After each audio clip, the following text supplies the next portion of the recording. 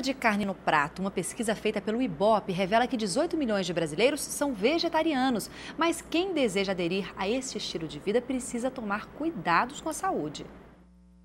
Aqui o bolo não tem ovo e nem leite. Um estilo de vida que tem se tornado cada vez mais comum são os vegetarianos, pessoas que se alimentam de vegetais e excluem completamente a carne do cardápio. Para Maria Tereza, os vegetarianos ainda são rotulados pela sociedade. Ah, você não come carne, é, você tem que ser magrinha, né? É assim, nossa, você passa fome. Não, a gente não passa fome. Esse grupo de pessoas é exemplo de um público que cresce a cada ano. O Brasil ocupa hoje o segundo lugar no ranking dos países com maior crescimento no número de vegetarianos. São quase 18 milhões de pessoas que mudaram o hábito de alimentação. A Areta, além de ser vegetariana há oito anos, também é vegana. Qualquer tipo de alimento de origem animal, como leite e ovo, foi banido do seu cardápio. A estudante, que tem uma filha de dois anos, conta que durante sua gestação, o difícil foi receber as críticas de quem não compreende esse estilo de vida. Todo mundo achava que eu estava prejudicando a minha filha,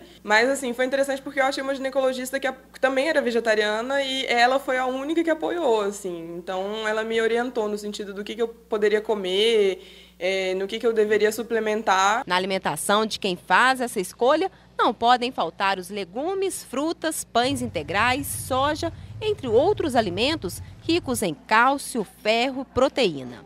A restrição de alguns alimentos do cardápio tem que ser feita com muita cautela. Se a pessoa opta por esse, por esse consumo alimentar, mais do que uma opção realmente, é um estilo de vida.